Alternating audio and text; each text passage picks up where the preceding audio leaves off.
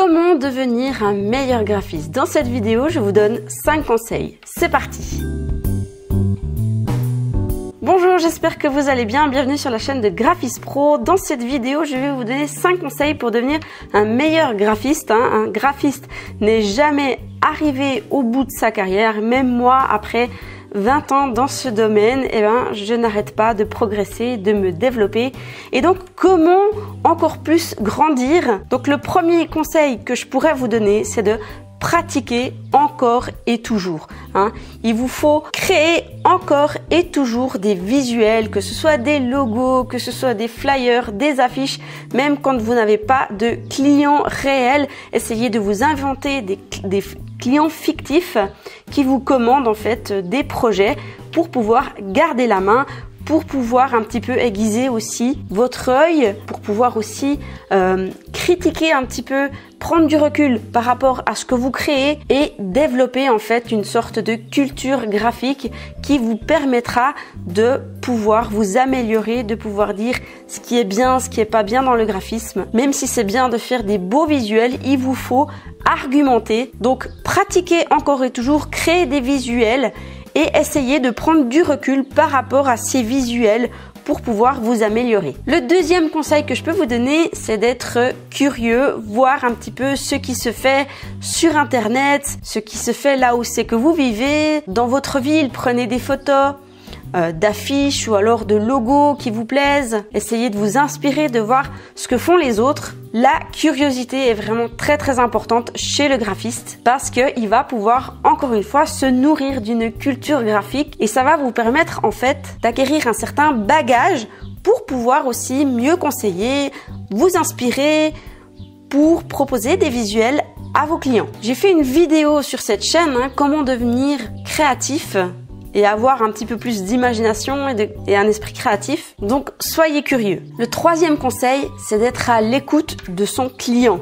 Le client a des besoins, le client a des attentes et essayez de toujours plus lui poser des questions pour savoir exactement ce dont il a besoin. Parce que bien que le graphiste soit le professionnel de l'image, eh ben le client doit également être satisfait vu que c'est lui qui va vous payer votre travail et le graphiste et le client doivent pouvoir collaborer ensemble et pour cela, le graphiste doit vraiment bien écouter son client. Je vois tellement de graphistes qui veulent en faire qu'à leur tête, qui veulent être orgueilleux. Alors je dis pas que moi je suis parfaite, mais on a tous une tendance à vouloir faire finalement ce qu'on souhaite et bien souvent les visuels qu'on crée, ceux qu'on a envie que le client choisit, eh ben au final il va pas forcément choisir ces versions-là, il va peut-être des fois choisir les versions qu'on trouve les plus moches. Et dans ce cas-là, eh ben il va falloir être à l'écoute du client et de pouvoir lui conseiller et parfois il va falloir mettre peut-être un peu d'eau dans son vin pour conserver la relation client. Donc l'écoute est vraiment très importante. Le quatrième conseil que je peux vous donner,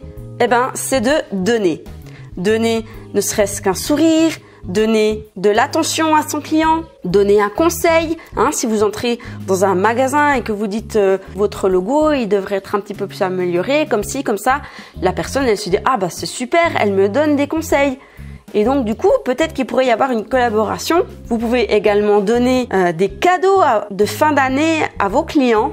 Le fait de donner va vous permettre des fois de recevoir en retour. Donc soyez généreux, donnez des conseils. Si vous débutez, vous pouvez offrir vos services Créer un logo, une carte de visite pour vos amis, ça va vous permettre non seulement de faire la main, mais également justement de pouvoir cet esprit généreux pour pouvoir recevoir en retour. Alors attention, hein, je dis pas de faire du travail gratuit, hein, ça pourrait des fois être un piège où c'est que la personne profite de vos services, mais le fait de donner des choses, des services, des conseils, eh bien vous allez pouvoir une relation, vous allez pouvoir sympathiser avec ces personnes et très souvent vous allez également recevoir quelque chose en retour. Bien souvent j'offre un petit service à mes clients pour montrer une marque d'affection et par là je communique que notre collaboration est importante. Donc donner et quand on donne, très souvent, on reçoit. En parlant de données, je vous offre une formation gratuite sur les bases pour devenir graphiste freelance. Pourquoi je vous la donne gratuitement?